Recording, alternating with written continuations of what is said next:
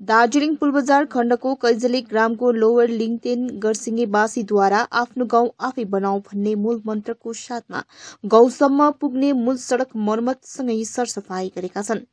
विगत केही दिन अघिको मुसुलधारे पानीले भत्काएको बाटो स्थानीय समाजको पहलमा वृहत रूपमा मर्मत गरेका हुन्।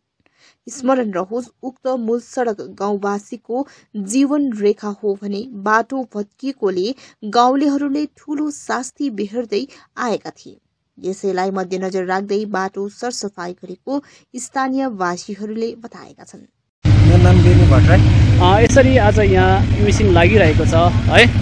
अ, यो चाहिँ के तपाईँहरूले आफ्नो निजी कोषबाट गर्नुभएको कि कसैले है सहयोग गरेको? यो चाहिँ यो डोजर चाहिँ हाम्रो एउटा गाउँ समाजको सबै गाउँ समाज मिलेर हामीले यो एउटा हाम्रै हिसाबले लगाएको हो। र अब यहाँनिर यो बाटो एकदमै बन्द थियो। अस्तिको त्यसले गर्दा हामी गाउँ समाजबाटै लगाएको हो यो डोजर चाहिँ। ले है सामाजिक सञ्जालमा है सबैजनाले यो यसरी मिसिन लगाइरहेको देख्दाखेरि है उहाँहरूलाई केही है नराम्रो सोच अथवा केही विचारहरू पनि यहाँनिर है कतिजनाले गर्न चाहन्छ होला। उहाँहरूलाई चाहिँ के भन्नुहुन्छ? उहाँहरूले अब जस्तो सोच्नुहुन्छ त्यस्तै हुन्छ। अब। किनकि यो त एउटा हाम्रो यो गाउँको बाटो हो। आफ्नो गाउँ आफै बनाऊ भन्ने एउटा अभियान लिएर हामी सानो गाउँ अगाडि बढेर यसरी डोजर लगाइरहेको छौँ।